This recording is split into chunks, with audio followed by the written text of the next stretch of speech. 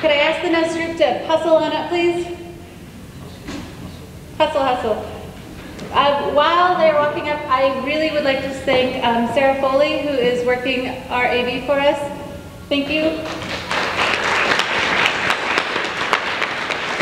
And I'd like to also thank the Buildings and Grounds crew and the Cooper Union staff who helped make this event possible tonight. I don't think our next speaker needs very much of an introduction, an introduction but I'll, I'll do it anyway. Here's Peter Buckley.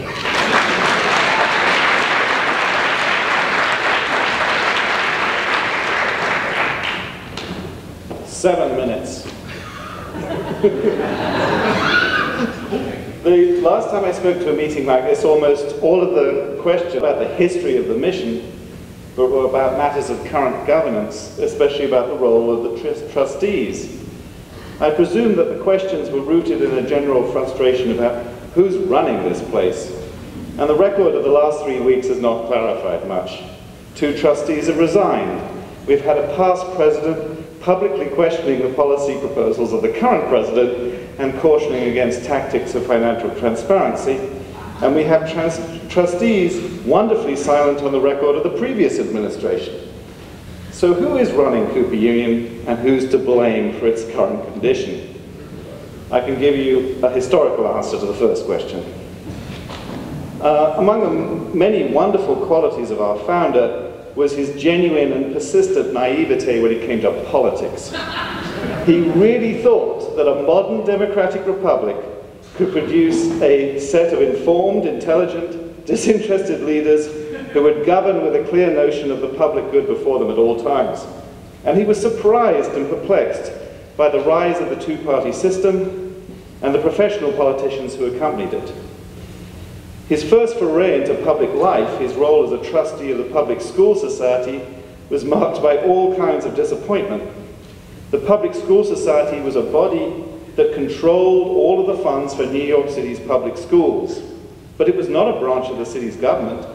It was a private body of apparently wise, disinterested men charged with the oversight of public funds. For Cooper, there was no problem about this. Indeed, it only made sense that as one advanced in years and experience, you gain the idea of the public good. And that would be able to discount private interest, something that an elected politician or a bureaucrat would never be able to do. Well, the society became totally unglued because of accusations by the city's growing Catholic population that public funds were being used by a private Protestant leadership clique to inculcate Protestant forms of education. Why couldn't public funds be used to support Catholic parochial schools? This was justified as it is today by phrases such as parental choice. Cooper was totally unprepared for this political onslaught and theological polarization. The public school was disbanded, the Board of Education was founded, and Cooper decided to continue the work, in a sense, under his own auspices why not have a new educational program, he said, that used private wealth and trusteeship for the public good? Hence, Cooper Union was founded on the ashes of the old public school society. Cooper initially devised a very odd form of trusteeship for this place.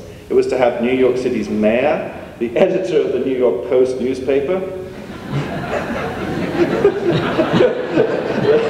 or, or maybe its owner, uh, himself and, and, and three old members of the Public School Society. It was a hopeless mishmash of public and private interest, or rather Cooper couldn't see where the private ended and the public began.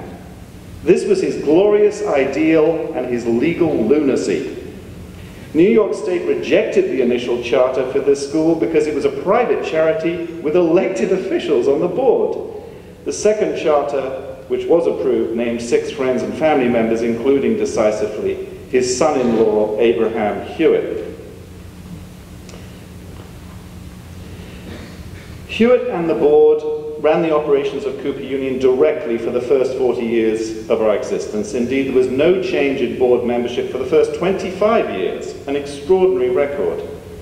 In keeping with many 19th century uh, philanthropies, the board looked in detail at operating expenses and also chose the course of instruction to be offered and directly hired faculty.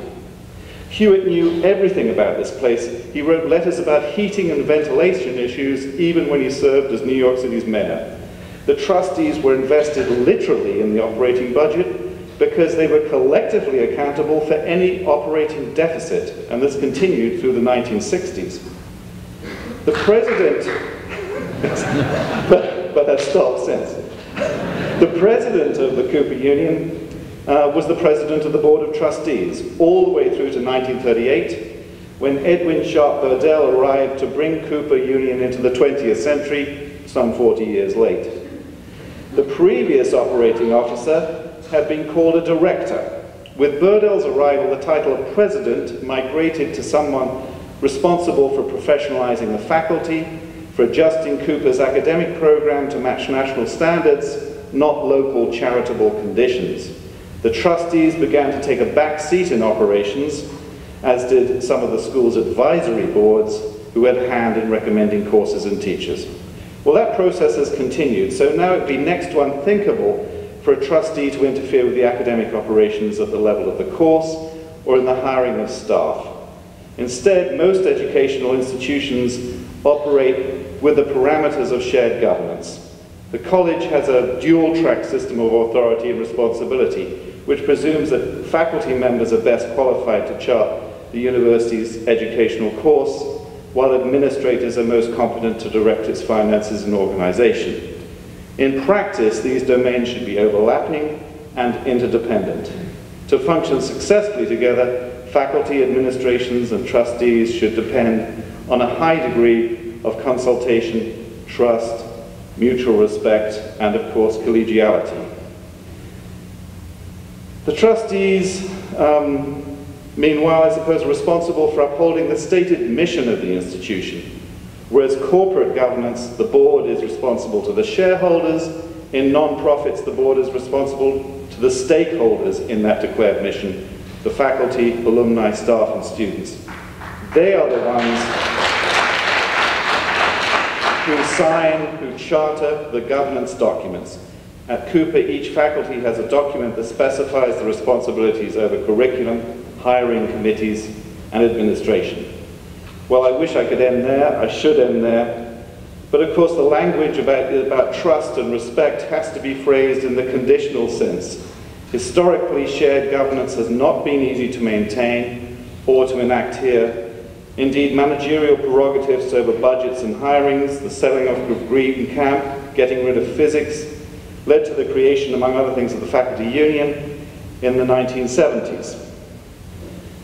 I think, and to sum up, it's not antagonism that now marks the relations between the trustees, the administration, and the faculty, but increasing distance.